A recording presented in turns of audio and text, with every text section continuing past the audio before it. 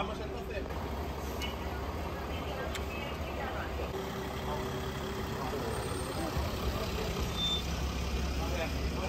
Hemos atendido a una mujer de 48 años que ha sufrido una agresión en su domicilio, presentaba diferentes cortes por arma blanca y traumas varios en, en zona craneal.